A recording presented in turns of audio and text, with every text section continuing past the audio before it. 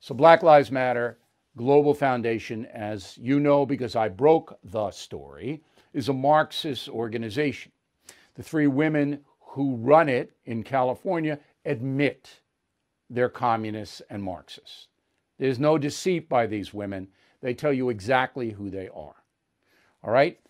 I'll give you an astounding stat right now. And write this stat down. Let me get it perfectly positioned for you.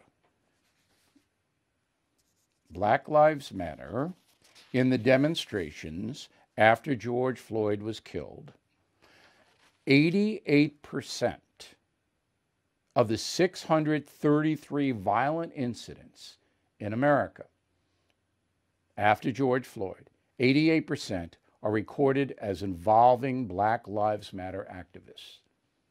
88%. And they are now nominated for the Nobel Peace Prize. But any nut can nominate anybody if you are in that group. So the nut that did this is named Peter Eide. Okay, he's a Norwegian member of parliament. He is he represents the socialist left party. So socialist isn't enough for Peter. That's not enough. It's got to be the socialist left party, left of socialists. Okay, comrade, comrade Eide. So he says, uh, yeah, studies have shown that most of the demonstrations organized by Black Lives Matter have been peaceful.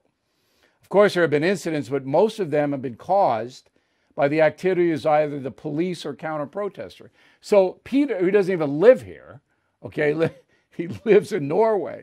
He said the cops did it, not Black Lives Matter, even though the, the study documented that 88% of them involve Black Lives Matter of the violent incidents activists. It's unbelievable. And just to refresh your memory, I don't want to hammer this any more than I have to. Roll the tape. Fried like bacon, pigs in a blanket, fried like bacon, pigs in a blanket, fried like bacon, pigs in a blanket, fried like bacon. Okay? I mean, there's no doubt. So if the Black Lives Matter gets the uh, Nobel Peace Prize, forget about the Nobel organization ever again having any credibility. They don't have a lot of credibility now. But BLM uh, issued a uh, tweet, quote, we hold the largest social movement in global history. Today we have been nominated for the Nobel Peace Prize. People are waking up to our global call for racial justice and an end to economic injustice, environmental racism, and white supremacy. We're only getting started, raised fist. These people are dangerous. They want communism, not socialism. They're way beyond that. But are you going to get that reportage in the, in the media? The corporate media going to tell you that in America? No, they're not. No, they're not.